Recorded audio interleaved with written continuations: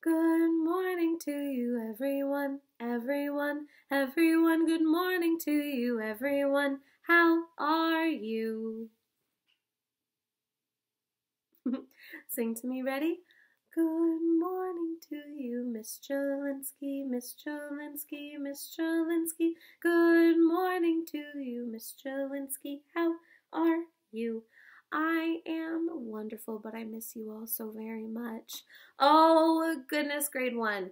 I miss hearing your singing voices and having all of our silly moments together.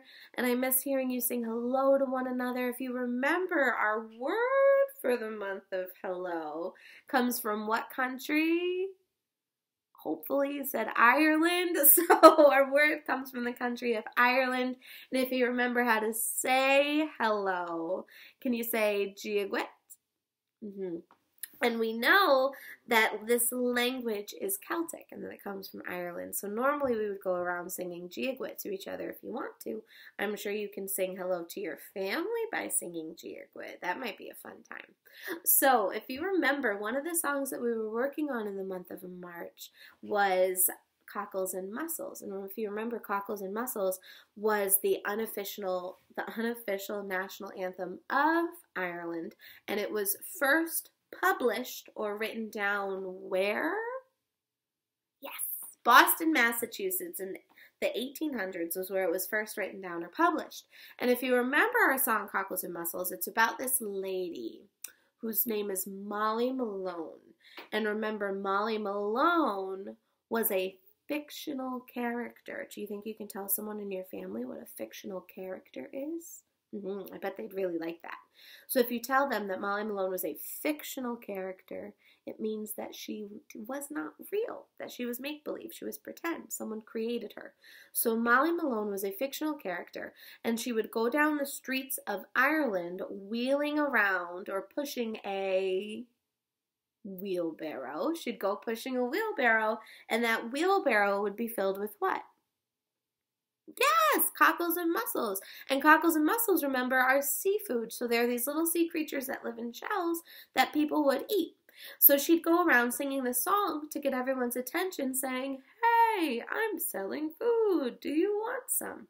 So she would go down the street with her wheelbarrow and she became a fishmonger. Remember, someone who sells fish is a fishmonger. She became a fishmonger because her parents were. So it was kind of a family tradition passed down thing. So what we're going to do is we are going to sing our cockles and mussels song. I have my ukulele right here. We're going to start with this today. I'm going to be posting other videos with other games and things that we have done in first grade. That way, if you miss music class as much as I do, which is impossible because I tell you, I miss music class more than anybody else on the planet. So if you miss music class as much as I do, then you can just come in here and we can have music class together. So we are going to start with our Molly Malone song. Here we go. I knew it was close. So we're going to start with our Molly Malone song. I know that you like to sing it on your own, you independent musicians. I get it. So what I'm going to do first is I'm going to play this two times. The first time I'm playing it, I'm going to sing it with you. That way you're able to hear the lyrics and get the melody back into your brains. Ooh, lyrics and melody, those are big words. What are the lyrics? What, are the word, what does the word lyrics mean? Yes, the lyrics are the words of the song. And what is the melody? The melody is the t, to, to, the tune. So we're the words and the tune. That way you get the words and the tune, the lyrics and the melody in your brains, and then I'll play it again a second time where I will not sing. So you can sing with the ukulele on your own. Okie doke? You are very independent musicians. Oh, I love it. Here we go, right from the very beginning. In Dublin's fair city, where the girls it would help if I played the right notes. In Dublin's fair city, where the girls are so pretty, 'twas there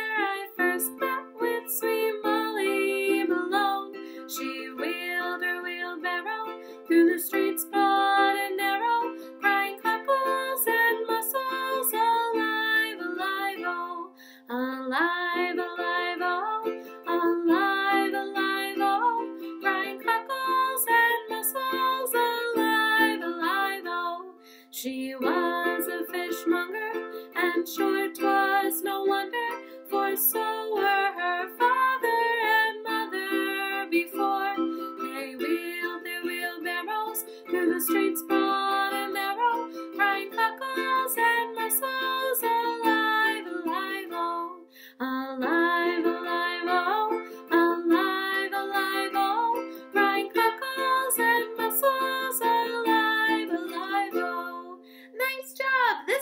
Promise I won't make a mistake in the beginning. But remember, it's always okay if you make a mistake, as long as you recognize it and you say, oh no, and then you fix it and you try to not make it again. I didn't make a mistake for the rest of the song, which is very good.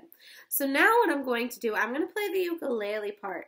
I might hum the melody very quietly, but I will not sing along with you because I know that you want to be an independent musician and to do it on your own, which is totally fine. I think it's awesome. So we're going to go right from the very beginning. One, two,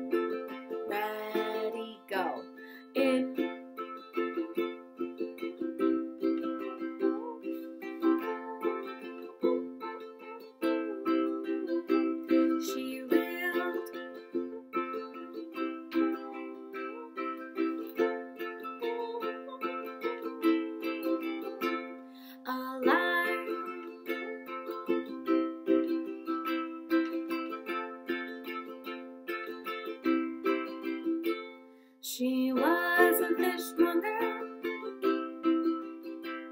to serve her father and mother before they wheeled.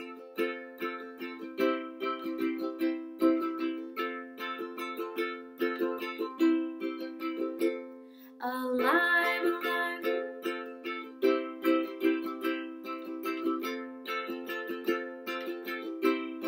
One more time. Alive,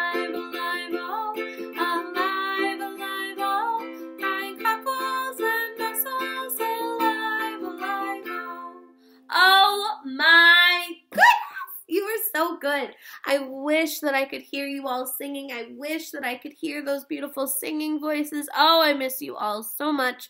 But luckily, your family gets to hear your beautiful singing voices all the time now. I'm so spoiled that I get to hear them as often as I do. So I'm glad that other people now get to hear your beautiful singing voices even more. Boys and girls, I'm going to be posting another video so soon. Maybe I'll even get to jump in on some of your morning meetings and see some of you and say hi. I miss you all very, very much. Keep singing and keep making music, and I'll talk to you very soon. Goodbye, everyone. I'll hopefully see you soon.